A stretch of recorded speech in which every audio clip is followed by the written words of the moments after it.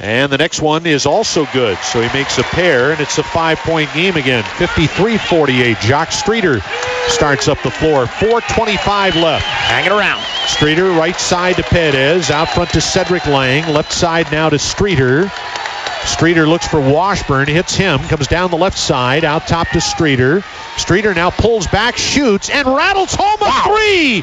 Jacques Streeter hits a tray. Underrated. Second three of the day. He's got 10 and a half, 12 in the game.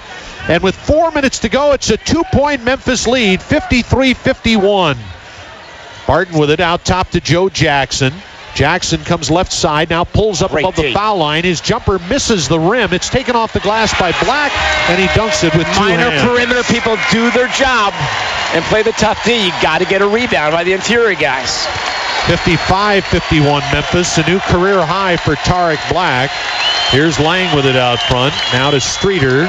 Streeter to Lang, left side to Washburn. His jumper is on the way, and it's good for two to make it a two-point game again. Washburn's got nine.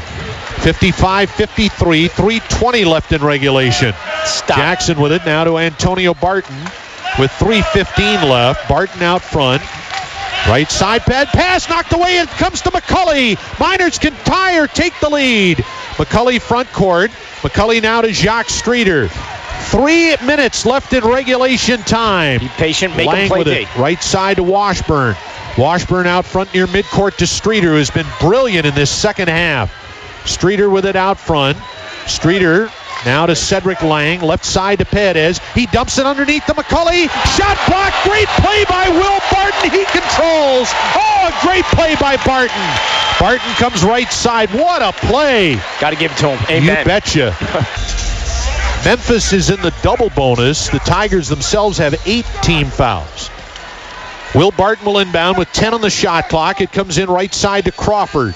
One bounce dribble out top to Will Barton. He's got a three. Shot on the way and he missed it. The long rebound along the baseline. Streeter chases it down away from Joe Jackson. Joe Jackson's found his match in quickness and his strength in Yaki Streeter.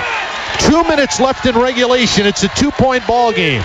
And we've got what? A foul. Yep. Chris it's Crawford. going to go against Memphis. A holding call for Chris Crawford. It'll be one and one away from the ball. That's Crawford's fourth foul. He is getting tired of chasing Perez along the baseline in the minor offense. Entire second half, he's going back and forth. Finally, frustrated, he just holds him. Mike Perez to shoot one and one. Perez doesn't get tired. He earns the bonus hitting the front end, and it's a one-point ball game. Perez has had a nice second half. And he's got 13 points, make it 14 to lead the Miners today. He and Streeter in double figures. The ball game is tied. One of the most in For shape. the first time since it was 0-0, it's tied with two minutes to go. It's the opposite of last year's CUSA championship game. All right, here's Jackson with it out front. Jackson comes around to pick by Tarik Black. Now to Witherspoon. Left wing pass taken by Crawford. Crawford Travel. bounces in low to Tarik Black. He throws one up. It's deflected by Washburn. Taken by McCully. Now to Streeter. The Miners have the ball. They can take their first lead of the day. Streeter in the middle of the floor. A minute and a half to go. Right wing pass taken by Perez. Perez guarded by Crawford. Out front to Jacques Streeter. Right side to Mike Perez. Perez down the middle to Washburn. Washburn turns now to Cedrick Lang. Foul! He'll go to the line. That's the 10th Memphis team foul. Both teams are in the double bonus. Wesley Witherspoon is fouled out of the game. It was that little triangle in the paint slide. You saw it up at Oregon for the first time. Floyd calls it from the sideline and uh, results in a layup basically by Cedrick. They had to foul him. Great offense. Cedrick Lang, not a particularly good foul shooter, 57% on the year. DJ Stephens replaces Witherspoon, who is fouled out of the game. And he fouls out, does Witherspoon, with five points, all in the second half. We're tied at 55. The Miners trying for their first lead of the game. Gutsy. Lang's foul shot. Miners have the lead for the first time today. After trailing by as many as 13, they've now led at some point in 96 consecutive games. 56 55. One more for Cedrick Lang. And that one is also good. Cedrick Lang hits a pair. He's got six points. Miners by two. Joe Jackson with it for Memphis. Timeout Tigers. Tigers will inbound. Just across midcourt on the right wing side. 16,000 plus on their feet. Will Barton to do the honors, and it comes into Joe Jackson. including McCulley family. Jackson crosses midcourt. Jackson looks for a cutting Crawford, hits him on left wing. Crawford comes toward the baseline. Now back out front with a pass to Joe Jackson. Jackson with one minute left in regulation comes left side into the corner now along the baseline. The ball is knocked away. It's loose on the deck. Diving on it is Lang. Does he call Cedrick timeout? timeout. Yes! Cedrick Lang has it and calls a timeout. Crawford lost it on the dribble with 54 seconds left in regulation time. And the Miners get the timeout called. They'll have a fresh shot clock with the ball leading by two. In David Tyree fashion, Tish, Cedrick handles the ball with his right hand, throws his fist up, and I believe that's still the signal for a timeout. He threw his fist up from the ground, Tish, calling the timeout. Great cerebral play by Lang. All right, McCulley to inbound again. And he brings it in this time Nice. to Washburn. Washburn left side to Perez. Dribbles toward midcourt into the forecourt. Now to McCulley, Look at the left left. side. McCulley in the corner. McCulley out front to Streeter. That's where they wanted. Foul. Streeter is bumped push. by Jackson. No call. Comes left side. Streeter is grabbed by Jackson. They finally call it. And really a silly foul by Jackson. You know, almost- Why would you foul? I don't. Why as, would you as foul? a basketball fan, I Why want to tell Joe foul? Jackson, Why? Don't, don't foul. You're, you got 16 seconds left on the 35. You're gonna get the ball. Why back. would you don't foul? know. You Why know, would you foul? It just almost looked like he did it on purpose, like he was desperate, and it's like three seconds to go in the game. Very odd. Jacques Streeter to shoot a pair.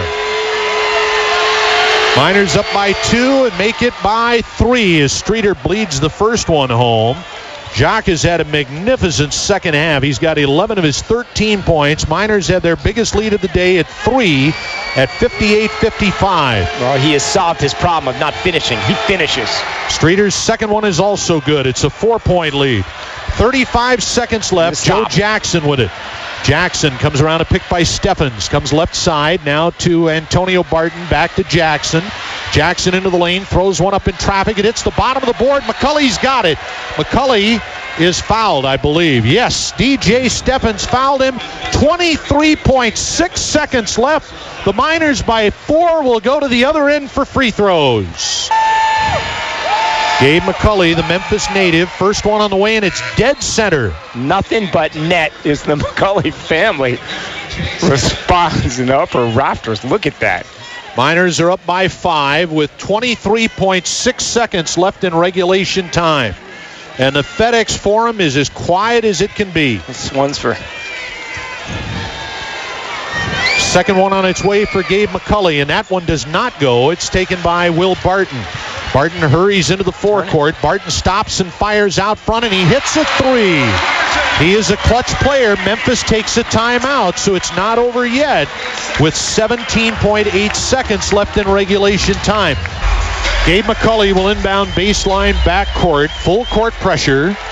See if McCulley can get it in. He runs the baseline. He dumps it into Washburn. He lost it in the corner.